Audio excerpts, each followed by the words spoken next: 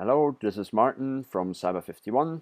Today I'm going to show you a little video about Wi-Fi cracking. So in particular we are having a look at cracking WPA, WPA2 pre-share key. We could also crack web keys obviously.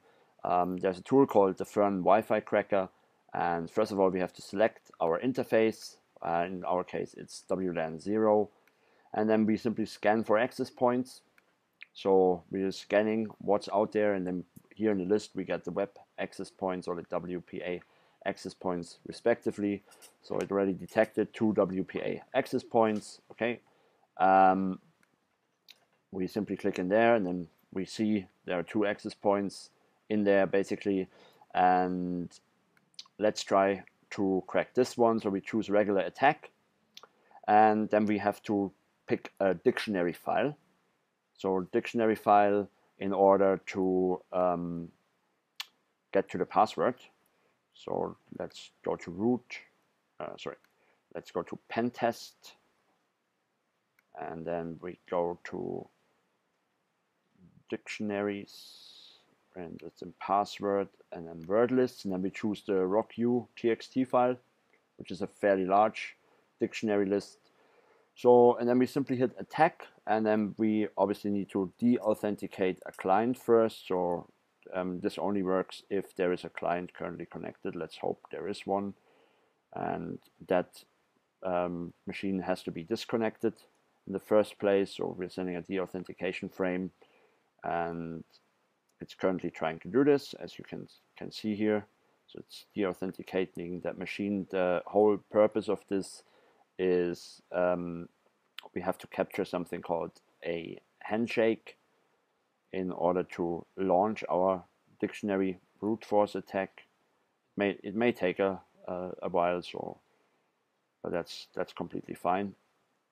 And then see now we have the handshake captured. It went yellow, and then it starts our dictionary attack. So it's um, has a speed of around about 460k per second and it's going through the whole dictionary list. Now, um, this can take hours. Obviously, it's de dependent on, on the password strength and how how um, strong the password is. Um, but let, let's just have a quick look in the meanwhile here at the word lists. So we have a couple of word lists on Backtrack. So there's the, the dark code list and the rocku. So if you look into the rocku list, um, it's obviously a lot of different passwords in there um, common used passwords.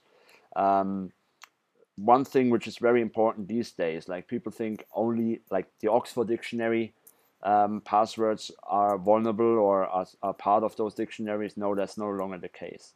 So modern dictionary attacks also feature like numbers and you know like um, words combined with numbers. So uh, you really need to make up a very very good passphrase in order to not to not to be in one of those dictionaries.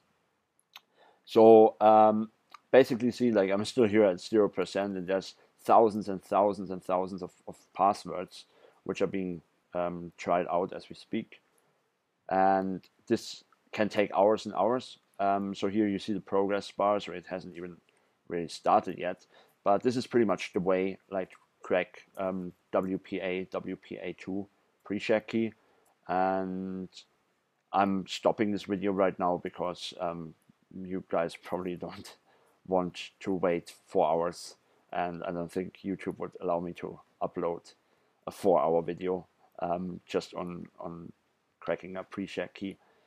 Um, I hope you enjoyed this video. I hope you find it useful and we look forward to seeing you in one of our next, next videos. Thank you very much.